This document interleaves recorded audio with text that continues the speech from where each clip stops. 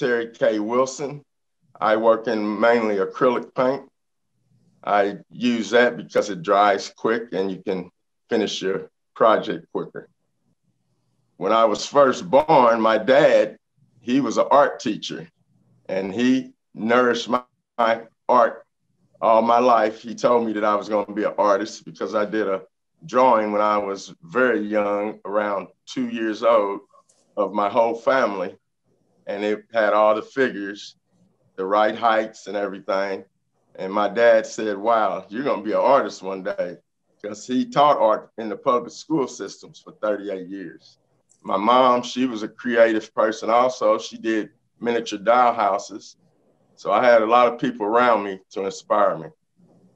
Artists, they cherish the moment that people can come in and be excited about their artwork.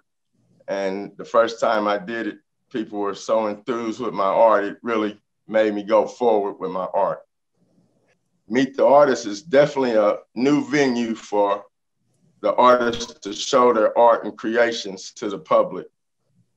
It was great to have my work that I submitted chosen for the cover.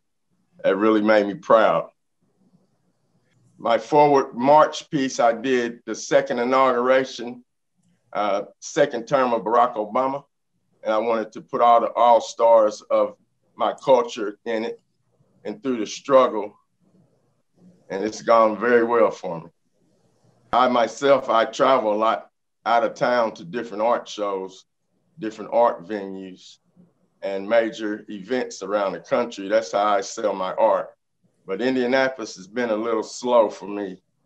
Uh, this past year has picked up at a late age that I am, but uh, it's been a struggle in Indianapolis. People that look at my work, I want them to see the message that myself, the artist, was trying to betray and tell to the people visually.